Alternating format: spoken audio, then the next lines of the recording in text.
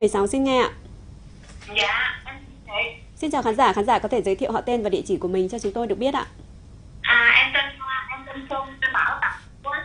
Dạ vâng ạ, xin mời khán giả đặt câu hỏi cho các chuyên gia của chúng tôi ạ.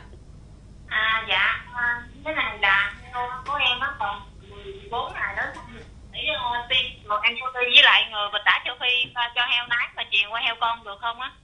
Dạ vâng, xin được mời à, Phó Giáo sư Tiến sĩ Lê Văn Năm tư vấn câu hỏi này ạ. Tôi chưa nghe Khán giả có hỏi. về một con heo nái còn 14 ngày nữa thì sẽ sinh. À, khán giả đang thắc mắc là không biết có nên tiêm vaccine E. coli cũng như là dịch tả châu Phi cho cả heo mẹ lẫn heo con được hay không ạ?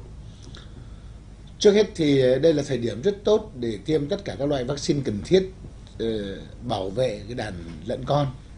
Trong đó thì chúng tôi vẫn thường phổ biến ờ, thứ nhất là phải tiêm lại vaccine dịch tả cổ điển.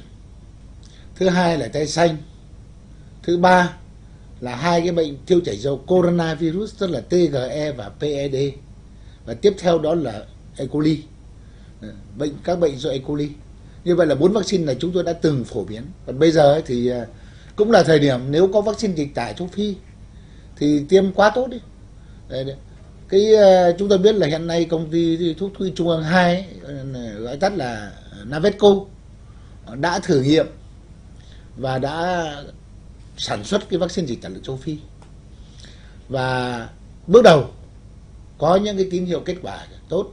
Thế thì nếu như mà có cái vaccine này để tiêm thì cũng là tốt cho nên là chị yên tâm cứ nên tiêm đi thế còn ờ, bản thân chúng tôi thấy rằng là cái vaccine dịch tả lợn châu phi thì ờ, đúng đứng về mặt khoa học ấy thì, thì chúng tôi ờ, chưa chưa chưa được nhận nghiệm thu ở cái cấp nhà nước thế nhưng mà về mặt cái thông tin ờ, nghề nghiệp với nhau ờ, tôi là một trong những người mà kết nối thường xuyên và thân thiết với anh Hạnh là phó giám đốc ờ, công ty thuốc thủy trung ương 2 rồi anh Thái là tổng giám đốc thì ở đây ý, chúng tôi biết rất rõ là bước đầu kết quả thử nghiệm và khảo nghiệm vaccine dịch tả lợn châu Phi đã rất tốt và chuẩn bị được trở thành một trong những cái vũ khí để chúng ta chống lại cái dịch tả lợn châu Phi.